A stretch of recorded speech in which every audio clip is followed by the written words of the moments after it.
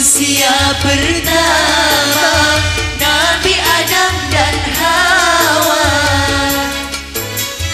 Atas izin Tuhannya Diciptakan di surga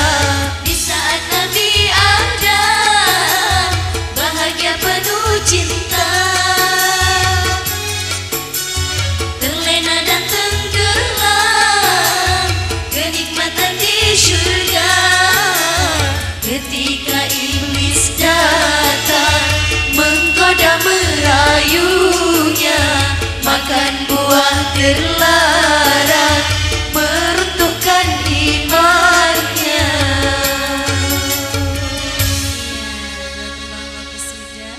boleh dikasih tepuk tangannya buat Ashifa. Terima kasih.